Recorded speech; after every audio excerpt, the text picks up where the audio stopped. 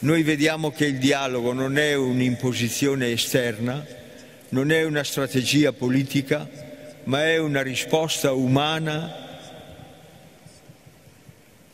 naturale, che ci apre verso l'altra persona e porta all'incontro.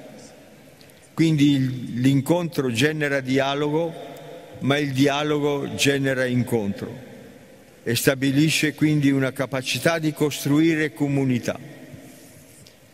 E questo ci porta a delle conclusioni operative. La prima è che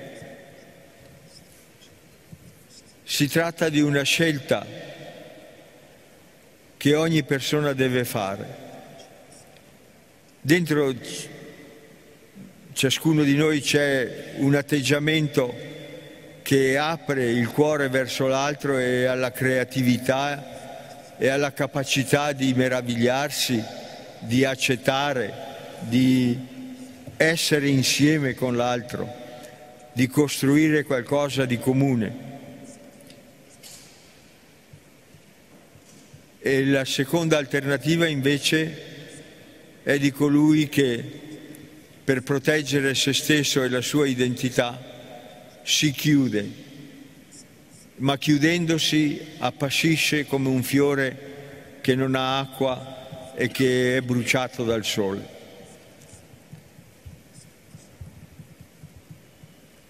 Quindi in contesti sociali diversi, contesti religiosi e politici e culturali diversi, io ho sempre visto che la difesa propria dell'identità personale o dell'identità del gruppo religioso viene protetta meglio quando ci si apre e si accetta l'altro nella sua diversità.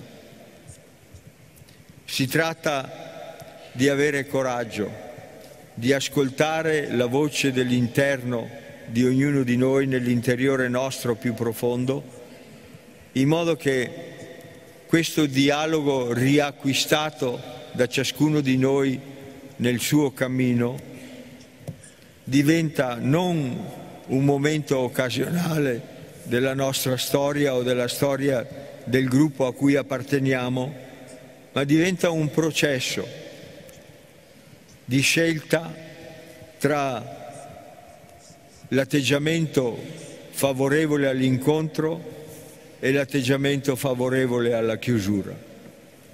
E la scelta è di ciascuno di noi. Grazie.